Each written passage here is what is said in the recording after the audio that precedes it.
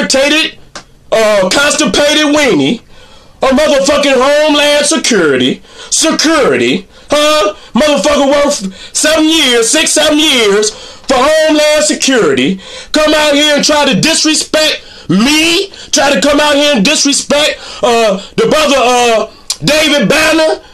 You know what I'm saying? But I, I, ain't one time I heard that nigga disrespect Homeland Security. Huh? Huh? Have y'all ever heard the nigga disrespect Homeland Security? Huh? No, they got a gag order on the nigga. Got a gag order on the nigga. Huh? And so he, he got his mouth closed. But he could come out here and spit on his brother. That brother David Banner got a got an inroad to a lot of G's that want to come out and hear him speak. Let that brother do his goddamn thing. He gonna reach brothers and sisters you can't reach. You fake ass, agent ass nigga, and all you, all them hoe ass niggas down with. You goddamn right, I said it.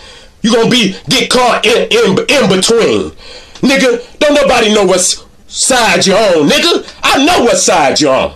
I know you's a motherfucking agent, nigga. You love that shit.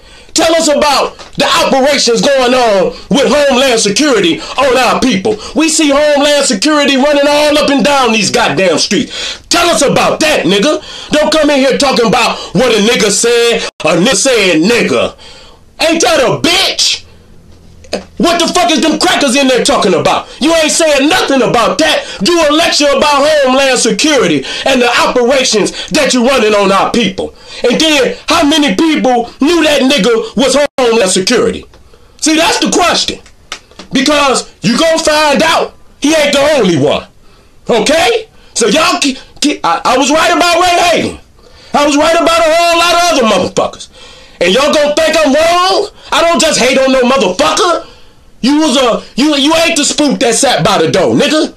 You you ain't no spook. Nigga, you work for the beast.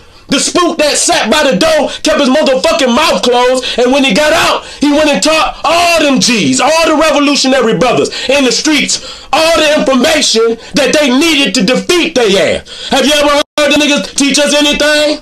He got any operations going on against the government? No, the niggas scared. The niggas scared. They probably ran his ass through the ringer. Huh? You think they gonna just let a motherfucker out like that? Huh? You think they just have you ever watched 48 hours, nigga? This nigga on some terrorist shit. They got this nigga in there, so you know they running his ass through the ringer. What did he say? What did he say? Okay, so if they ran an investigation on his ass, why did why we didn't run no investigation on him? Huh? See, y'all some soft ass niggas. Is that wrong? Got a military, nigga. Anybody that get caught in between like that, the motherfucking powers to be gonna run an investigation on their ass.